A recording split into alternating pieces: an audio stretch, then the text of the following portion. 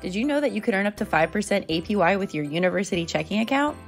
The first question you might have is what does APY stand for? APY stands for annual percentage yield, and your APY is calculating using your dividends earned and the daily average balance in your checking account. These earned dividends are deposited into your account at the end of each month. Now that you know what APY is and how it works, we want to let you know how you can make the most out of your university checking account by earning up to 5% APY. The more you bank with UCU, the more benefits you receive.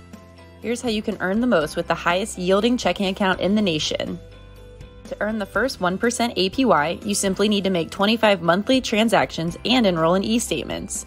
From here, when you combine your university checking account with other UCU loans, including an auto loan, credit card, consolidation loan, or homeowner HELOC, you can earn an additional 4% APY, 1% APY for each category. Why not earn extra for the banking you already do?